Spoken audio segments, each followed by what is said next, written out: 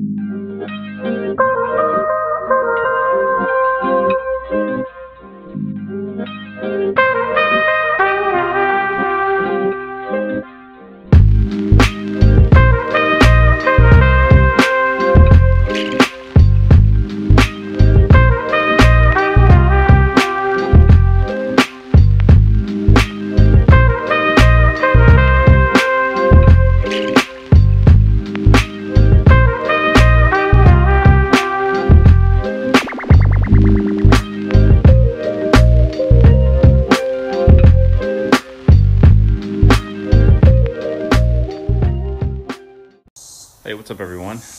While since I've put out a video on my Turf and Timber YouTube channel. So, because of that, I wanted to kind of give everyone an update as to what's been going on in the lawn since I've been gone.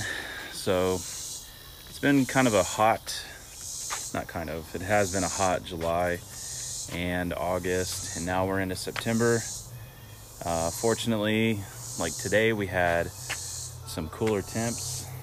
I think it got into the high 80s, which yeah, that's that's a lot cooler because lately it's been it's been let's see, I think mid to high 90s last week. A lot of humidity, so the heat index is well over 100. Uh, so anyway, with that, um, we've had a lot of stress out on the fescue right here. Um, I got some pretty stressed parts out there that I'll show you. Uh, we also did deal with the army worm infestation like a lot of the country had gone through and I'll show you some of the damage on that. I have one part on the other side of my driveway horrendous. I mean almost everything died. So uh, anyway, so here we go. Let's do it. So here is one side of my front yard. Doesn't look too bad. Um, fescue over here did pretty well uh, for the most part. But again, you know, it, it did pretty well because it's got a lot of shade right here. It's got these giant trees, which, you know, help reduce a lot of the heat. Same, same with over there on that side of the culvert is it gets a lot of shade. So you get a lot that gets uh, shielded from the sunlight. As you can see though, as we come over here, a little bit of a different story. So this side actually gets blocked by a lot of the house when the uh, afternoon sun kind of sets in. but then, I think I said this in one of my previous videos. I think it was the Hydretain video is right here and along the driveway gets a lot of heat stress. I mean, that afternoon sun just beats down right here um, in the afternoon. I mean, that sun is all through here. So I think that's what's attributed to most of it. Uh, like I said, we had an army worm infestation, which contributed to a lot of uh, some of the grass dying off around here, both Bermuda and fescue. Um, this is my, like I said, this is the fescue side of the yard, and this is along the driveway. And then look at that right there. Got some Bermuda trying to creep back in which I mean I can deal with that before I overseed here in about three or four weeks. But keep in mind, uh, when I when we first moved into this house, uh, this side of the yard right here, uh, this actually was all Bermuda, all through here. So, done what I can to transition that over to fescue as much as possible you get some spots like here, like all of this. All of this right here used to all be Bermuda as well, and I just transitioned this last year. But as you can see, you get a lot of uh, Bermuda trying to grow back through of what has been fried off. I got some weeds through here. By no means is it perfect. But looking through the rest of the fescue on the other side of the culvert, I'm able to do some striping still. Not too bad. Uh, now I use the you know the difference. I push mow that over there still, and then on this side, I use my riding mower obviously.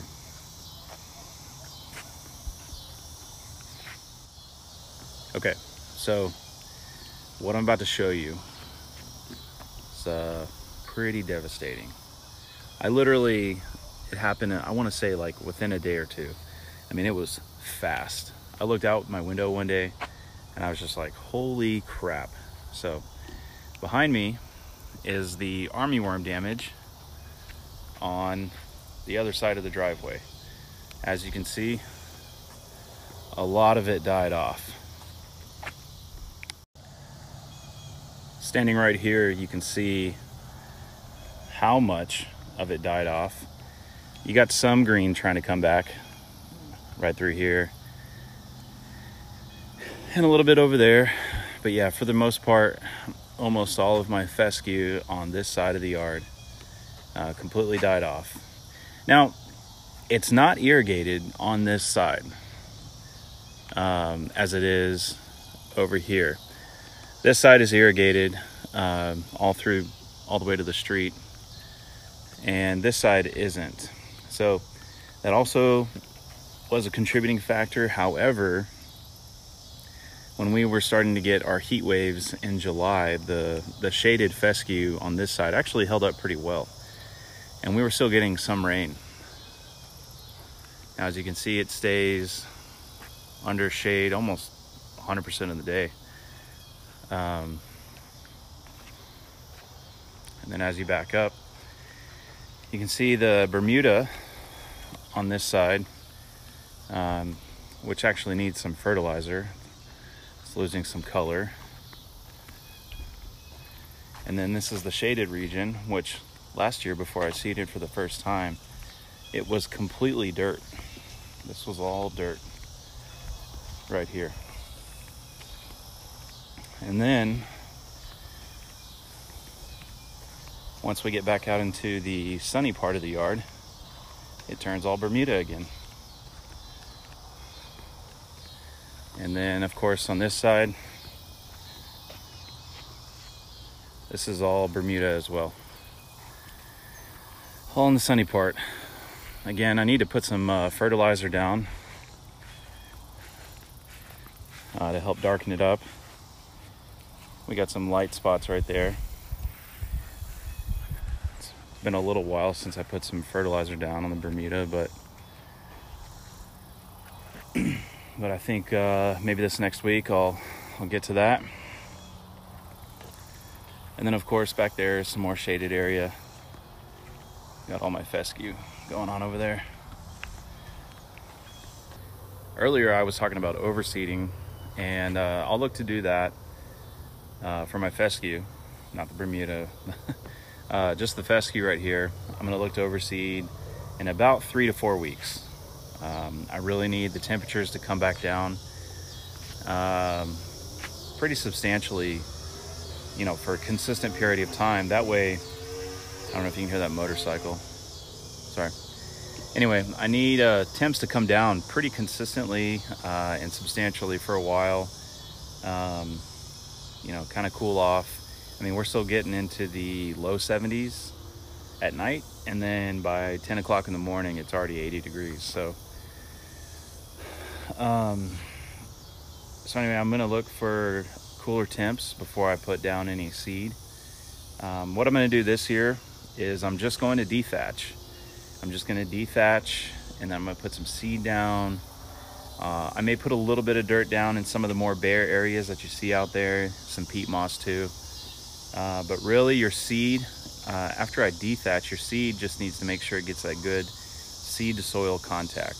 That's what it's going to be looking for in order for, you know, it to really root in uh, and do well. Put down some starter fertilizer too. Uh, that'll go a long way.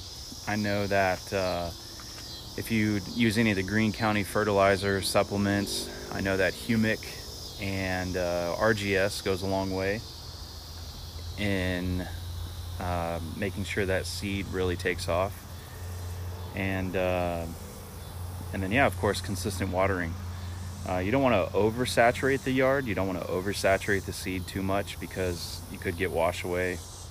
Um, so you really just want to keep the seed moist. I know that's everybody's favorite word.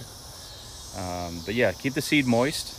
What I typically do is I'll water three, maybe four times a day, depending on how warm it may get on that on a certain day. Uh, not for too long. I'll just put each zone at like seven minutes, just to get enough to get that seed moist and to root down and open up and, and start to grow. I think uh, you should see germination if you're seeding with fescue. You should see germination within like seven to 10 days. Usually I've gotten around that seven day mark and I've been able to see something start to sprout up, which is always exciting. and then um, consistently water for about, I don't know, what, three weeks? Uh, I mean, it's going to be kind of subjective depending on where you live and on how well your seed is really taking off. And I need a haircut. What my wife tells me.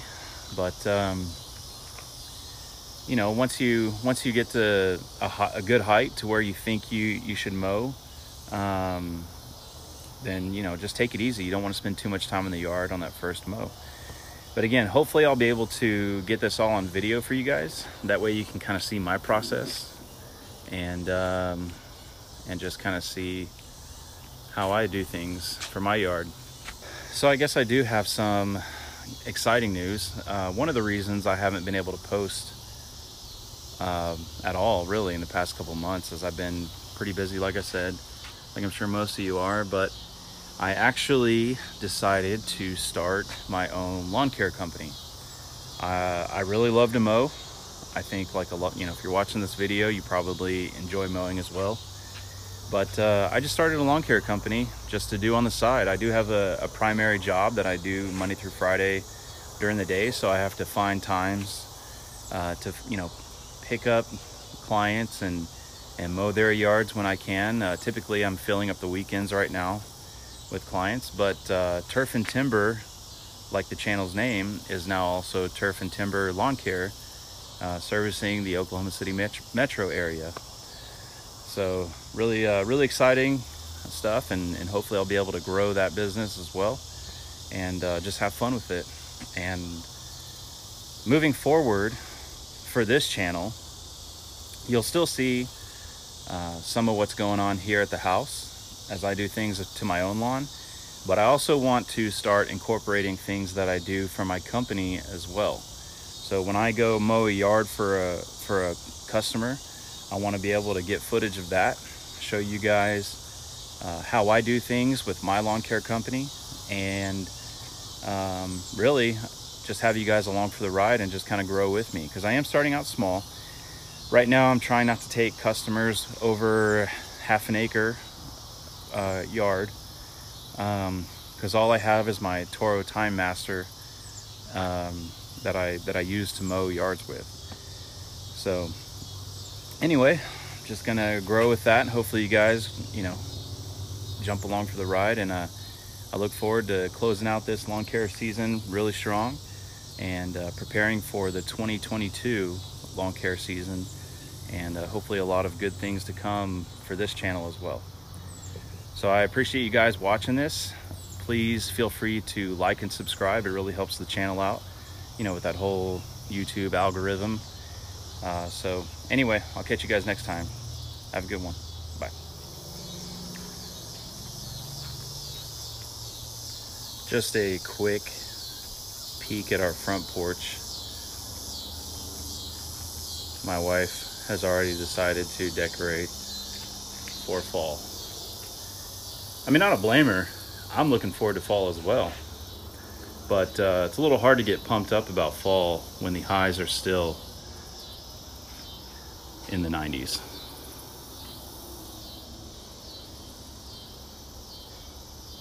All right, catch you later. Peace.